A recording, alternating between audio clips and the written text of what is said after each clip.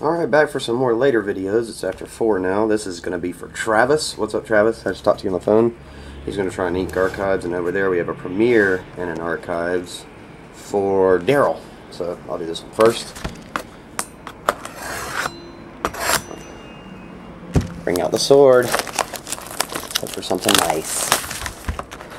It's five packs. I have a video up right now, but there's five packs, five autographs. Bunch of little styrofoam squares in there too. Alright, here we go. No sports athletes in this product, just celebrities, and a hit one is Arnold Vosloo? Okay, it's from The Mummy.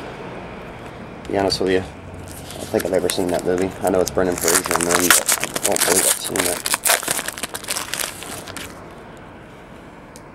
St. Petersburg. Hmm. Billy Drago. Okay. As Doc Benton. Next. Jack Osbourne. Oh, okay. The Osbourne kid. There you go. The Son. He plays as the Son. Interesting. Somebody from Alias. Simon Walker from Alias. These all come in magnetic snap cases as well. Buffy the Vampire Slayer is Hank Summers. I don't know. I was forgot to look see if I was in the camera. I hope you can see all these.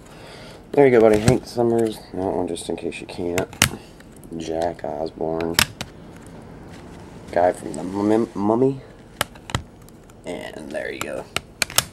Alright, Travis, I appreciate it, buddy, and I'll get all these right out for you. See ya.